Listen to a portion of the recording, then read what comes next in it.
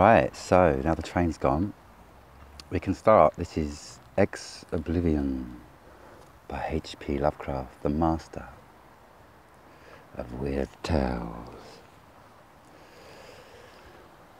Ex Oblivione.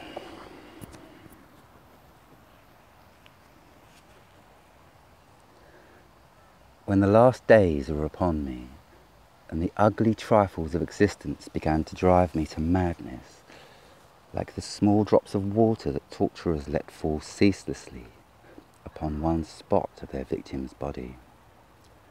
I loved the irradiate refuge of sleep. In my dreams, I found a little of the beauty I had vainly sought in life, and wandered through old gardens and enchanted woods. Once, when the wind was soft and scented, I heard the south calling, and soughed endlessly and languorously under strange stars. Once, when the gentle rain fell, I glided in a barge down a sunless stream under the earth, till I reached another world of purple twilight, iridescent arbours, and undying roses. And once I walked through a golden valley that led to shadowy groves and ruins, and ended in a mighty wall green with antique vines and pierced by a little gate of bronze. Many times I walked through that valley, and longer and longer would I pause in the spectral half light, where the giant trees squirmed and twisted grotesquely, and the grey ground stretched damply from trunk to trunk, sometimes disclosing the mould stained stones of buried temples and always the goal of my fancies was the mighty vine grown wall with the little gate of bronze therein. After a while, as the days of waking became less and less bearable from their greyness and sameness, I would often drift in opiate peace through the valley and the shadowy groves, and wonder how I might seize them for my eternal dwelling place so that I need no more crawl back to a dull world stripped of interest and new colours. And as I looked upon the little gate in the mighty wall, I felt that beyond it lay a dream country from which, once it was entered, there would be no return. So each night in sleep, I strove to find the hidden latch of the gate in the ivied antique wall, though it was exceedingly well hidden and I would tell myself that the realm beyond this wall was not more lasting merely, but more lovely and radiant as well.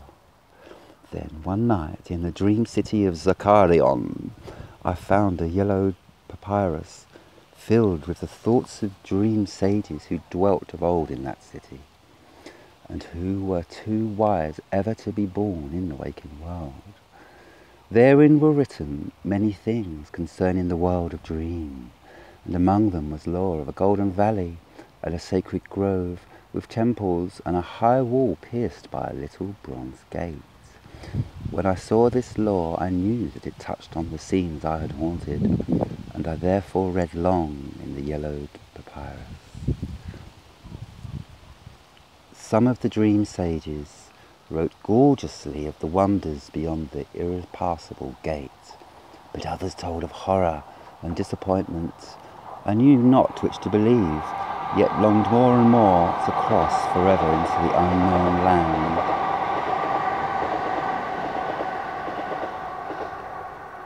For doubt and secrecy are the lure of lures, and no new horror can be more terrible than the daily torture of the commonplace. So when I learned of the drug which would unlock the gate and drive me through, I resolved to take it when I next awake. Last, night, I, swallowed, the drug and floated, dreamily into the golden valley and the shadowy groves. And when I came to this time to the antique wall, I saw that the small gate of bronze was ajar. From beyond came a glow that weirdly lit the giant twisted trees and the tops of the buried temples, and I drifted on songfully, expectant of the glories of the land from whence I would never return.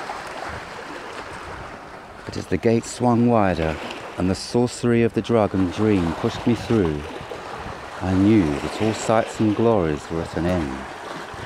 for in that new realm was neither land nor sea, but only the white void of unpeopled and illimitable space.